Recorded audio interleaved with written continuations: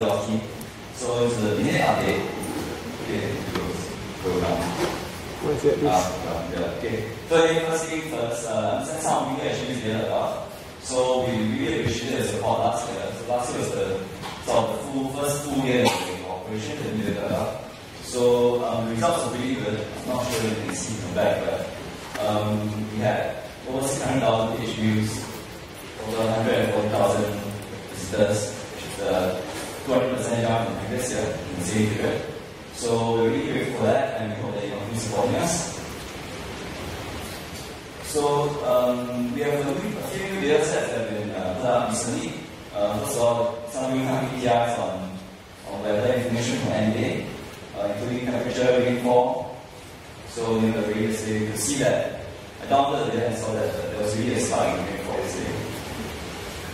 100 and, uh, it's- and then we also have um, ACRA UEN data set. Uh, previously, all the data about the UEN data set was in this rather hard to read XML format, but we recently uh, got to upload it in CSV format, so it's a lot more accessible. So do download and a look. Um, it's currently at Data MVP.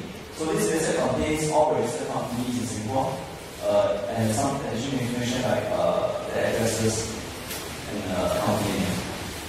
So do check it out. Um, another um, we got some queries recently about how people find out when we have new data sets on data.gov. So actually we have um, the data.gov site is actually got CKAN, which is the uh, DMS, the data management platform. And there's some built APIs. One of them allows you to sort of just call up recent list of updated packages on data.gov. Uh, you can also choose number of um, updates you want to call up. So um, do check out the sites after this. You can explore and see whether there's anything interesting for you in there. And then um, just a quick heads up what's coming this year. On the other graph, firstly, we're going to onboard more real-time APIs from different agencies, including from NES, and QRA. Um, secondly, we are actually going to introduce a new feature on data.gov for people to actually visualize different data sets on the same chart. So currently, we, we sort of visualize every data set we can, but it's on its own.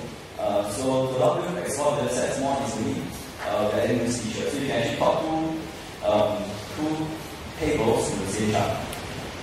And maybe even more if you can make that happen. Uh, last but not least, we're to put up more data stories on our blog.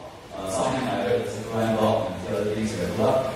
Um, so we're going to do more of that. At the same time, we also hope to feature some work that um, people out there are doing. So, you know, if you have anything interesting that uh, you want to share with us, you know, do tweet to us, and I would hope to get in touch with you if, you know, you don't mind us featuring you on our website. So, as always, if you have any feedback, if you have any requests for new data, or if you love, you know, you found about the data, do uh, let us know, and we'll get